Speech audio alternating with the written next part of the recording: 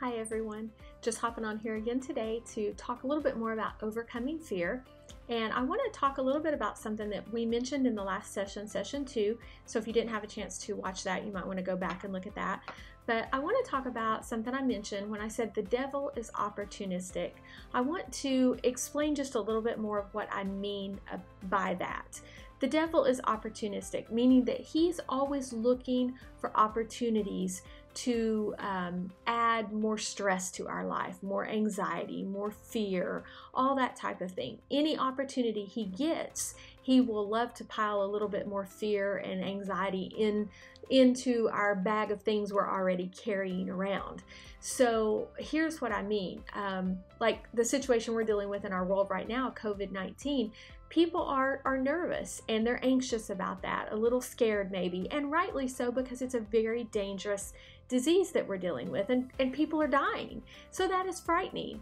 But the devil looks at a situation like that and he says, What a great time for me to pile some fear and anxiety just more onto their plate. You know, we look at a situation we might have a friend maybe you you got a friend and they're just going through a lot of stuff and you're like oh my goodness she has so many things on her plate. She's got she's stressed over this and she's worried about this and she's got this going on and she's got 15 different projects she's taking care of and all this stuff. And i just don't want to add anything else to her plate. So i'm not going to ask her about this right now well, the devil is just the opposite. When he looks at us and says, "Oh, she's anxious about this and and she's got all these projects going on and her mind is stressed cuz she's dealing with this and she's got this and that." He thinks, "This is the perfect time for me to pile some more stuff on her, some fear and anxiety because she might not realize that this is what I'm doing. And so he just piles more stuff on us.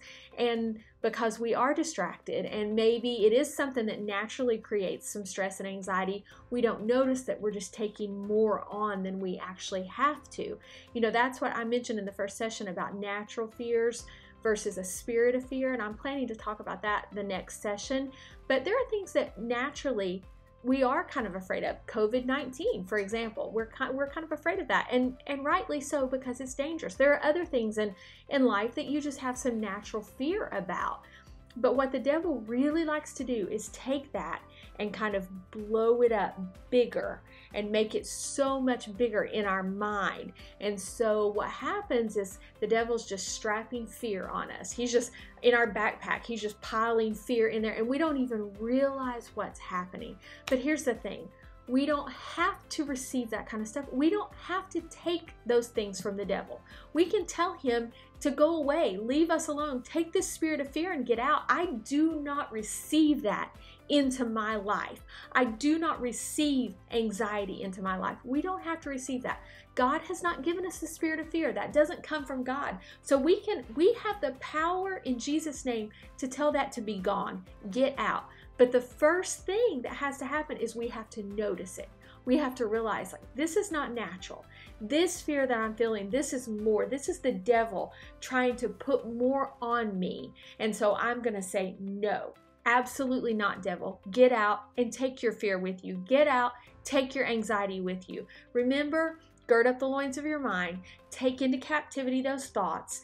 Don't let them exalt themselves or make themselves bigger than the things that you know are truth. So you can overcome fear. We do not have to take that fear as our own. You can overcome that. So stand against that fear. We're going to be overcomers. We are not going to live our lives in fear because that is not the will of God for his children. So thank you for watching today, and I will see you again soon.